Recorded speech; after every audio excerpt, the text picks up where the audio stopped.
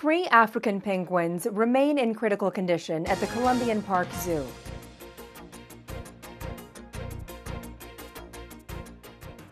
The three penguins are all that remain of the nine African penguins that arrived at the zoo last summer. Zoo staff believe the penguins contracted avian malaria from infected mosquito bites. The first penguin died in late October, followed by five more penguin deaths in the weeks that followed. Zoo staff are working with experts from around the country to try to save the remaining penguins. Star City will update this story as new information becomes available.